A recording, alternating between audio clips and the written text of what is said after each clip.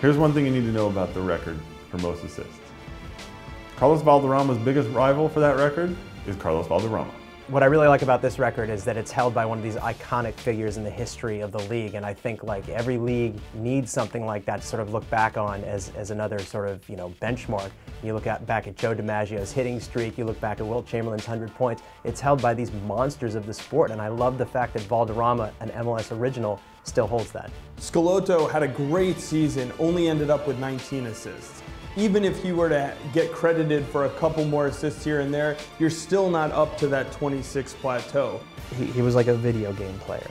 He, he, was, he was just absolute focal point and so good that you could still you could run the team strictly through him and, and, they would still win. I just think the league defensively is clamped down to the point where those players can't quite flourish the way that they used to. It was the perfect player at the perfect time. It was Carlos Valderrama who is the best playmaker we've ever seen in MLS at a time when the game was a lot more wide open. There was more scoring, there was more assists to be had. So you put a guy of that quality, of that caliber in a league with the doors wide open, people running up and down and putting up the numbers, no one's ever going to come close to that assist mark. It'll be remarkable if someone ever hits 20 assists again.